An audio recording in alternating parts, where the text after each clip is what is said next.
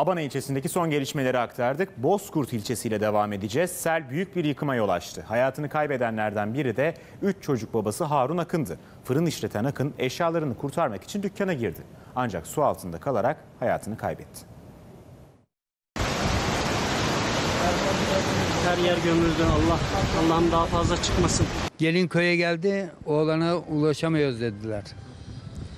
Bir türlü ulaşamadık. Televizyon, telefonlarımız da çalışmaya. Çok geçmeden acı haber geldi. 42 yaşındaki oğlu eşyalarını kurtarmak için girdiği dükkanında hayatını kaybetti. Bütün malı hissedi de oğlan gitmeseydi.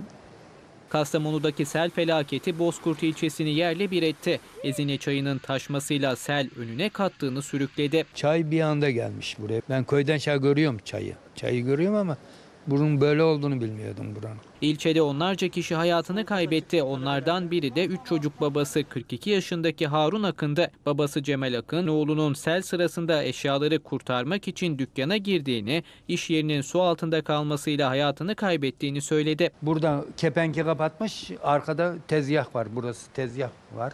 Tezgahın içerisinde sıkışmış. Sel birden gelince Oğlunu selde yitiren babanın sözleri adeta boğazına düğümlendi. bütün malı hissedi de oğlan gitmeseydi.